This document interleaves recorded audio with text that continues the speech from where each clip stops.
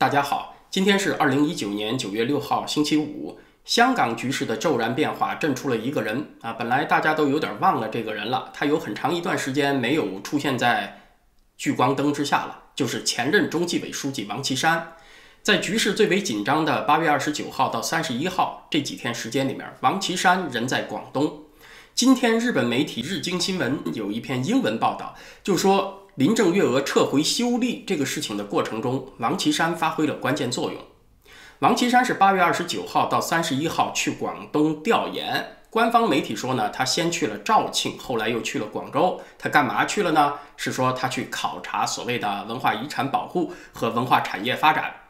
就在一水之隔的香港街头鼎沸的时候，有救火队长之称的前任高层王岐山，在广州。欣赏书法和绘画啊，这事儿听起来呢，多少是有那么一点儿不着调。因为以他这种身份，他出现在一个地方，他肯定预示着某种意思嘛。结果他去看书法去了，而且一看就看了三天。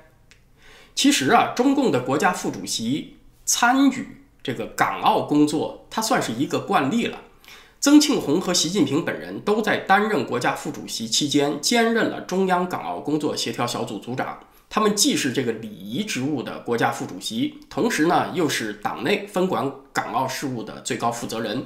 上一任国家副主席李元朝，其实呢他也是中央港澳工作协调小组的副组长。王岐山没有在这个小组里面正式任职啊，其实算是有一点例外。这是和他的身份尴尬有关系的。就是这个中央港澳工作协调小组组长呢，他必须得是一个在任的政治局常委。王岐山他要当副组长的话啊，因为他不是在任的嘛，你要让他进去只能当副组长。他要当副组长的话，就相当于一个往届的政治局常委给一个在任的政治局常委打下手啊，当了下属了。同时呢，却又和在任的政治局委员杨洁篪、中央委员张晓明这些人平级啊，似乎名分上不太讲得通。所以王岐山要进去，确实身份上有些尴尬。香港局势的陡然变化呢，其实是反映出韩正所领导的从这个中央港澳工作协调小组到在香港的中联办这个体系啊，和局势脱节了。就在王岐山结束广东之行以后的几天，星期三，林郑月娥宣布撤回逃犯修订条例。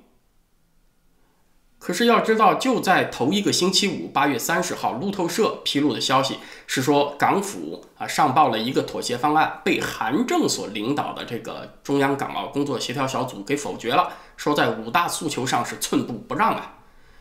就在撤回修例的头一天，九月三号，港澳办还开了记者会，继续强硬表态。港澳办的另外一个发言人徐露颖还反驳了，说出动驻港部队就是破坏“一国两制”、终结“一国两制”这种说法，意思呢就是说出兵镇压这个选项，中央一直在考虑，没有放弃。要知道，这个国务院港澳办它有另外一块牌子呀，就是中央港澳工作协调小组办公室啊，其实就是韩正直接领导下的。大家注意到问题没有？就是从八月三十一号到九月四号这几天时间里面。韩正所领导下的这个港澳工作体系啊，它和时事的发展脱节了，在最后决策关头，它被边缘化了。林郑宣布撤回修例这个事情，他们很可能是没有准备的啊，甚至是不知情的。他要知情的话，就不会在九月三号头一天还在做这种程度的威胁，这就等于给自己难堪嘛。可以证明这个港澳工作的体系和时事脱节。有另外一点，就是林郑宣布撤回修例以后，港澳办就开始玩躲猫猫了啊！这两天他就一直不出来回应撤回修例这个事情，结果就苦了人家外交部发言人耿爽了啊！这个外交部天天都要开例行记者会，港澳办是不用开的。结果耿爽在九月五号就被记者逮住，问到这个问题。啊，耿爽呢也就只好玩踢皮球，他就说香港不是外交问题啊，是中国内政问题。你问我有什么看法呀？这事儿啊，我说不着，你只能去向主管部门询问。可是主管部门又在玩失踪，所以北京这两天就是一片沉默。反而是林郑月娥自己星期四出来说撤回修例是得到中央支持的啊，结果是让他出来给北京擦屁股。既然是得到支持的，你为什么港澳办不露面呢？啊，所以呢，最大的可能是在最后决策关头，这个港澳工作体系被边缘化了。林郑月娥是越过了韩正所领导的这个体系，由习近平亲自拍的板儿。而这几天就是王岐山到广东来摆 pose、欣赏书法的几天。现在还没有消息证实说林郑月娥和王岐山见了面，但是以王岐山这种分量的人物能够在关键时刻到广州来，那我想他就是得到了习近平的授意的，自然他回去要向习近平汇报情况。如果说王岐山来广州还包含有别的目的，那我猜测呢是和中美贸易战有关的，就是来考察一下广东企业的开工情况、失业情况啊。总之他就不会是来看看书法这么简单。咱们这里不是说王岐山真的能够对平息香港事态有多大作用，虽然他有灭火队长的外号，但是得是他有实权的时候，他现在也没啥实权了。他能够对局势发挥影响的唯一途径就是去劝说一下习近平，习近平不听他的也没辙。说他现在疑似又进入了关键问题的决策圈儿啊，重点是这是中共内部会再次发生洗牌的一个前兆啊，就是本来。习近平完成修宪以后呢，他重用的是王沪宁，他都有点想不起王岐山来了。那现在之所以又找到王岐山呢，就是对现存的这个港澳体系啊不满意，得动动这个体系了。今天有另外一条消息，就是很多媒体报道，现任的中联办主任王志民很可能被调离，时间是在十月份的中共十九届四中全会之后。那接下来呢，我又想说一说九月三号啊，人民网的那篇文章，叫做。实现伟大梦想必须进行伟大斗争，因为它也是反映策略有调整的一个前兆。你说伟大斗争和谁斗啊？啊，无非就是四个对象：一是美国，二是香港，三是台湾，四是共产党的内部。这篇文章里面说要讲究斗争的策略，要有斗争的艺术。你看他说这个话的同时，中美贸易谈判那边就传出了一些积极信号，林郑月娥也愿意妥协，撤回修例了。所以，也就是印证了这篇文章里面所说的什么在奔跑当中调整呼吸呀，在斗争当中完善策略啊这些话。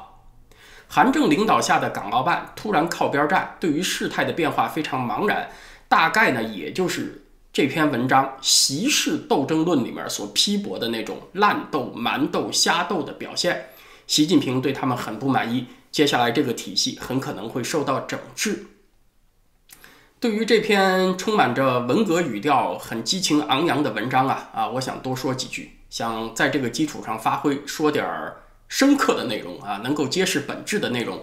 这篇文章里面有两句话给我印象最深刻，一句话是这么说的：什么叫工作啊？工作就是斗争，我们是为着解决困难去工作、去斗争的。另外一句话是结尾也挺雷人的，是说要敢于斗争、善于斗争。奔着矛盾问题、风险挑战去，就能斗出新气象，争出更加明亮的未来。凡是讲斗争啊，这是一种无节制的放大战争思维的表现。这其实是共产党意识形态的一个显著特征。战争思维，什么是战争？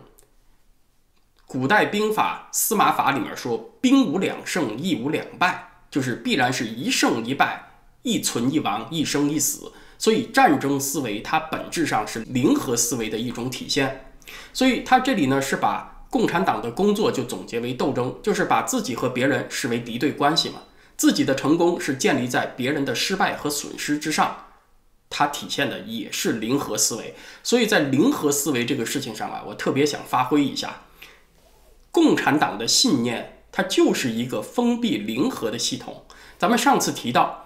马克思的三大预言全都是零和思维，无产阶级占人口比例上升，就必然意味着中产阶级的减少和贫困化；资产阶级的内部竞争呢，它也是意味着垄断和寡头。所以你看，一个阶级的得到，就意味着另一个阶级的失去；一个阶级内部一些人的得到，它意味着另一些人的失去。这就是零和思维吗？更进一步的说。咱们从中学开始学的那个马克思主义剩余价值学说，它就是一种零和博弈理论。它是把劳工和资本家看成是敌对的零和博弈关系。资本家发财了，那就是无偿占有了工人创造的剩余价值，所以资本家的财富就是来自于对工人的剥削。资本家越富，那工人受的剥削就越严重。零和思维嘛，这个剩余价值的出发点呢？它其实是把劳动者当成创造财富过程中的决定性要素，别的都不重要啊，就是我们劳动人民的双手最重要。那么这个在劳动过程中财富有增值，再减去那个劳动报酬就是工资，剩下的就是马克思所说的那个剩余价值是被资本家拿走了，那就是对咱们劳动人民的敲骨吸髓，就是对我们的残酷剥削啊！这个事情是不是事实呢？不是。首先从这个历史的层面来看啊，劳动力在多数时候啊，它并不是决定性的生产要素。就是在历史上大多数时期，劳动力是相对充沛的，缺的是资本，资本是相对匮乏的。资本家在生产经营过程中，他有一项重要的付出啊，人家不是说就躺在那儿数钱的，他有一项重要付出就是风险。工人你干一天活挣一天工资，你是没有风险的，而资本家投资却有亏本的可能，而风险它本身就构成了收益分配的要素啊。谁承担的风险大，谁拿的钱就多嘛，就是对最后那个利润的分配比例就越大。所以你把风险的价值折现从这个利润里面扣下去，咱们再来看一看有没有剩余价值。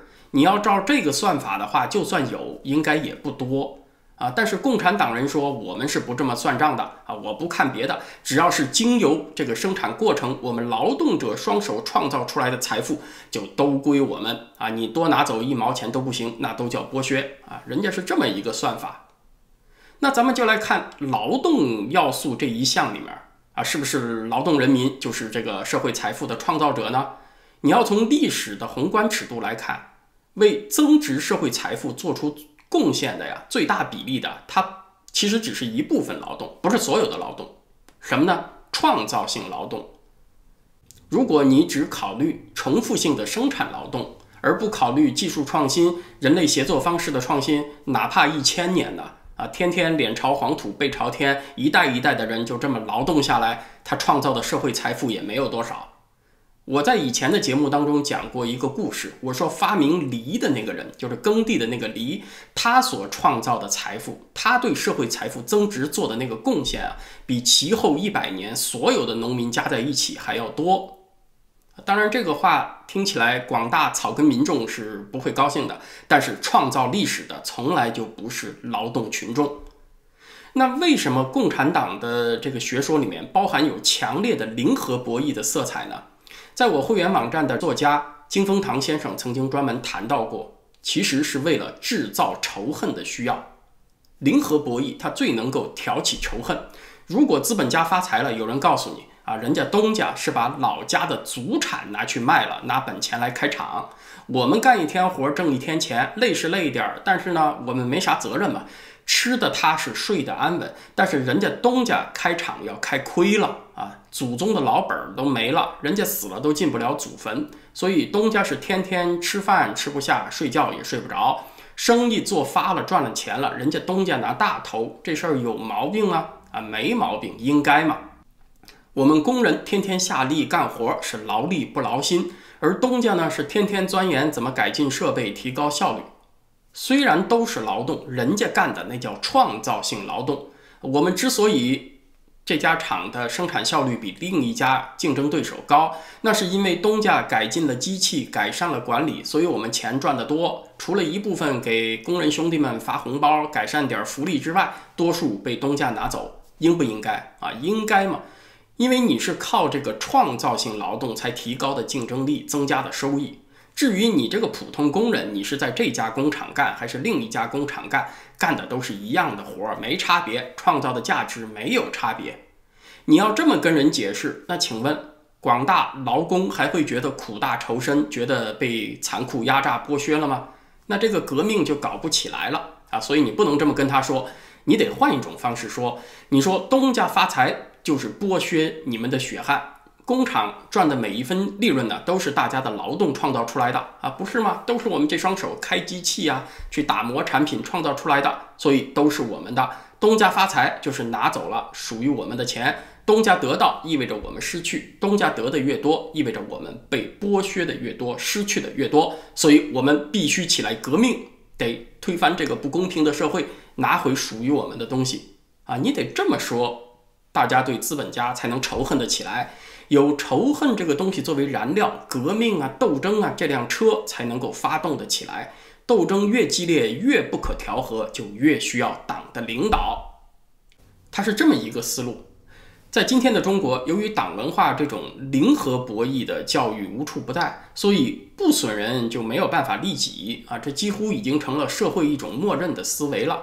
在正常的人性当中呢，利他和利己啊是应该有一种平衡关系。而在今天的中国，损人利己被放大到这种程度啊，它是任何时代没有的。它是和这个党文化的教育深入人心分不开的，它已经浸透到人们思维的深处去了，成了一种集体无意识，不假思索蹦一个念头出来，都是以此为基础的，都是觉得啊要利己就得损人。那咱们总结今天的话题，香港局势的演变呢，是预示着中共内部可能重新洗牌，习近平在压力之下要调整斗争策略，在那篇文章实现伟大梦想必须进行伟大斗争里面。习近平是反对没有策略、没有艺术的乱斗和瞎斗啊！但是你有策略、有艺术又怎么样呢？啊，还是一个斗，就像一块硬盘，你把它格式化成 FAT 三二以后啊，它就装不了太大的文件了啊！当某些人的头脑被格式化、零和思维以后呢，他把工作都当成斗争了啊！你也很难想象得到，在他的那个认知体系里面，他再有策略、再有艺术啊，再怎么调整。能琢磨出多不一样的方法出来，所以呢，我是建议习主席啊，把这篇文章的标题改一改啊，换一换思路，不叫实现伟大梦想必须进行伟大斗争，你改成实现伟大梦想必须进行伟大的妥协。你看这样行不行？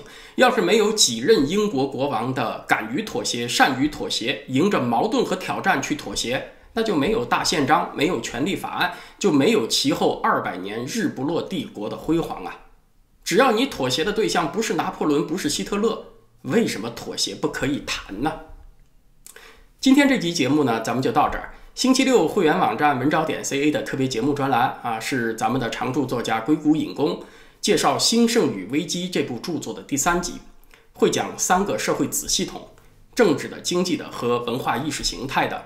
中国历史的一般规律是，政治和文化两个子系统啊，它会越来越长到一起去啊，他们会一体化去调节经济这个子系统。但是你说这个现象呢，它并不能算是落后，因为它不仅在中国的传统中有，现在硅谷的大公司里面也有，这是一个很有意思的现象。硅谷的这些高科技大公司，他们的治理模式其实和中国传统社会有很多相似之处。那今天这个话题就到这儿，谢谢大家，祝大家周末愉快，咱们下回再见。